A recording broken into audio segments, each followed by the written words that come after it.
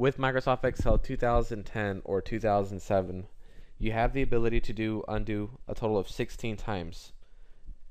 Now, there is actually a way to change this, you know, and I wasn't going to talk about it in this video, but just for fun, I wanted I wanted to briefly talk about this.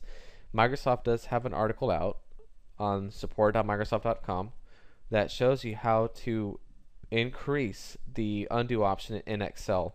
Now, only do this if you're really experienced with computers. It's it, This is pretty simple, though, if you're familiar with the registry editor. And I'm just going to kind of sh show you guys what this is all about, how to modify the numbers of undo levels in Excel.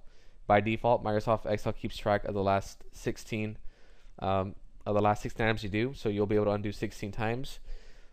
Microsoft does not recommend that you increase the number of undos beyond 100, and that's only because it's using your RAM memory and even if you have a lot of gigs of, of RAM, you still want to keep this under 100. Personally, I don't plan to change it, but just as a real quick reference, if you wanted to change it, I'll give you a real quick demonstration. Just go to your start, type in regedit. If you're using Windows Vista this, or Windows 7, this would be the way to do it. If you're using Windows XP, just go to start, run, and type in regedit. I'm going to go on, go on and select it and hit yes. Under current user, it's only you're going to make this change under current user. It's only going to impact the user that you're currently logged into. So if you have multiple users on, on your computer, it won't impact the other users. It's only going to impact the one that you're logged into right now. You're going to go to H key current user. And what we're going to navigate to is software, Microsoft, and then Office. And then of course you select the appropriate Excel folder that, that you're working in. So I'm going to go to my software. I'm going to go to Microsoft. I'm going to select Office. I'm going to use 14.0 because I, I have a 64-bit version of, of Microsoft Office. I'm going to expand that. I'm going to go to Excel.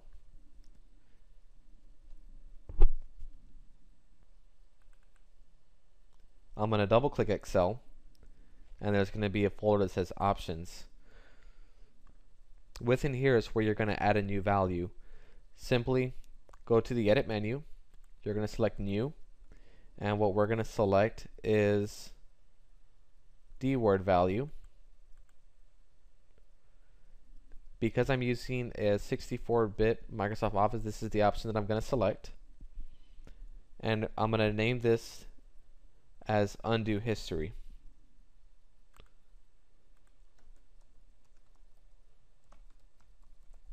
and hit enter.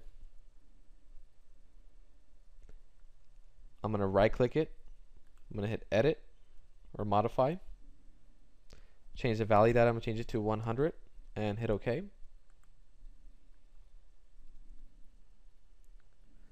Now I'm going to go on and restart Excel.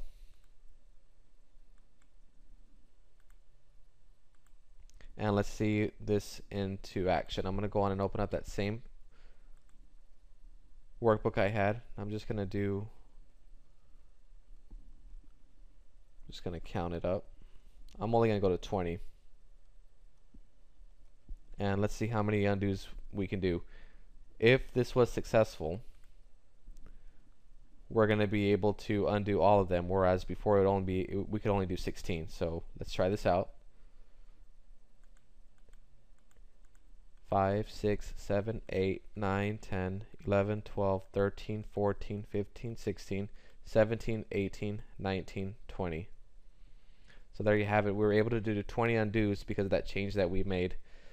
Now, me personally, I'm not going to keep that value there. I'm just going to delete it. But in case you do want to increase the number of, of undos, you know, you do have the instructions.